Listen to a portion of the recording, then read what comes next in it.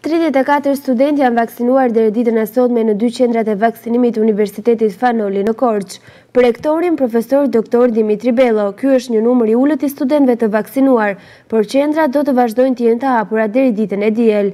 I pyetur se si do të zhvillohet mësimi në një klasë ku numri i të pavaksinuarve mund të jetë më i madh se i studentëve të vaksinuar, Rektori tha se i kanë marrë parasysh të gjitha skenaret duke përfshirë dhe atë online, pavarësisht se është kërkuar që studentët të jenë në auditore. Sipas rektorit, tetëdhjetë për qind e studentëve të viteve të dyta e të treta në departamentin e infermierisë janë tashmë të vaksinuar. Ai ndërkohë tregon se ende nuk e ka një numër të saktë të studentëve të të gjithë universitetit të cilët janë të vaksinuar por një gjë e tillë po u kërkohet të gjitha departamenteve për të përcaktuar duke kontaktuar me studentët. Nga momenti në moment ka studentë të cilët vaksinohen, kështu që shifrën e saktë nuk e dimë, por është një numër relativisht i ulët për qendrat, flas dy qendrat e vaksinimit që kemi në universitet.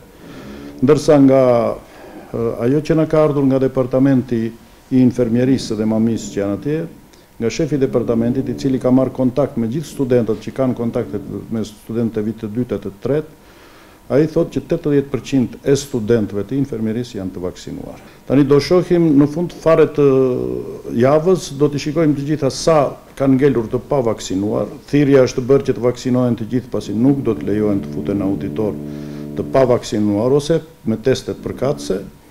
Kështu që do shohim sipas shifrave që kemi dhe sipas udhëzimeve që presim të na vijnë në vazhdimësi. Atëherë pyes edhe një herë, pra, pra dhjetë vaksinuar, njëzet jo, si mund të zhvillohet mësimi kur orët nuk mund të ndahen?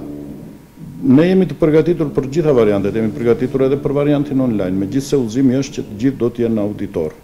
Burime pranë Njësisë Vendore të Kujdesit Shëndetësor në Korçë bëjnë me dije se deri tani janë vaksinuar dy mijë e treqind të rinj të moshave tetëmbëdhjetë deri në tridhjetë vjeç, por nuk mund të përcaktohet se sa prej tyre janë studentë të universitetit, sepse një gjë e tillë nuk është kërkuar në momentin e vaksinimit të tyre.